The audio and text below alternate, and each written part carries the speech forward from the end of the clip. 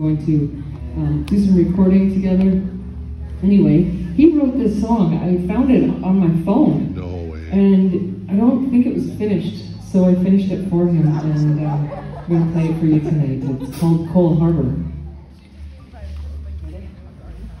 Down at the port of Coal Harbour, Vancouver, BC, looking at the Shell Ranger staring back at me. Been around, traveled round, all across the sea.